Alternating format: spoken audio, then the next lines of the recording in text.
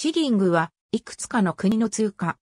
ウガンダ、ケニア、ソマリア、ソマリランド、タンザニアの現行通貨。イギリスとオーストリアにもあったが、現在は共に廃止されている。1489年頃、イングランド王ヘンリー7世がシリング貨を鋳造したのが始まりと言われているが、当時は硬貨そのものの名で、額面はテストゥーンだった。シリングコインが正式に登場するのは1547年、エドワード6世の時代である。語源は不明だが、一説に、シルと関係があるという。1シリング効果記号は S。英語のシリングの頭文字ではなく、ラテン語のソリダスの頭文字である。1ポンドイコール20シリングイコール240ペンス。1920年まではスターリングシルバー、1921年から1946年までは500の銀貨、1947年から1970年までは白銅貨として製造された。なお、ジョージ6世とエリザベス2世のシリング化は、イングランド仕様とスコットランド仕様のものが発行された。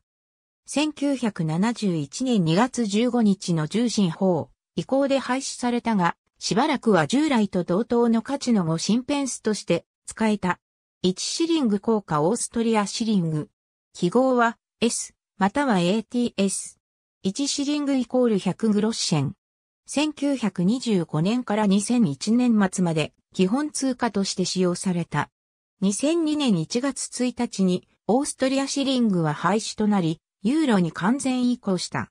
その際の交換レートは1ユーロイコール13.7603シリングの固定レートであった。20シリング紙幣東アフリカのイギリス植民地では、1920年から東アフリカシリングが使われ、以下の国で現行通貨となっている。記号は主が主だが、S が使われたり、国を表す文字が付け加えられたりもする。1シリングイコール100セント。これらの国の間で通貨統合し、東アフリカシリングを統一通貨として復活させる構想がある。かつてはアイルランド、オーストラリア、ガーナ、ガンジー島、ガンビア、ザンビア、ナイジェリア、ニューギニア、ニュージーランド、フィジー、マラウィ、南アフリカでも1ポンドイコール20シリングとするシリングが使われていたが、すべて廃止されている。なお、現在までにほとんどの国がポンド自体を廃している。